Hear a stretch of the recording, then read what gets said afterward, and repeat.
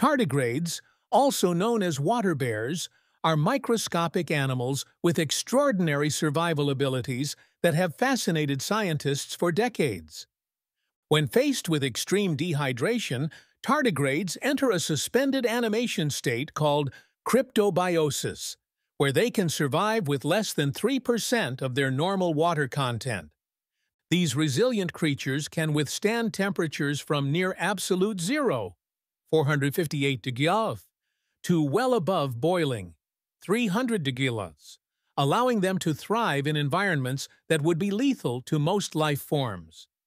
Perhaps most remarkably, tardigrades can survive the vacuum of space, enduring the absence of oxygen and exposure to cosmic radiation that would destroy cellular structures in other organisms.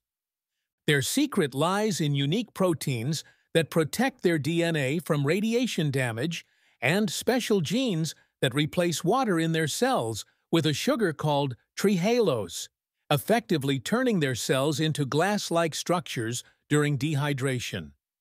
When favorable conditions return, these tiny survivors can rehydrate within hours and continue their lives as if nothing happened, making them one of Earth's most indestructible creatures and valuable subjects for studying survival in extreme environments.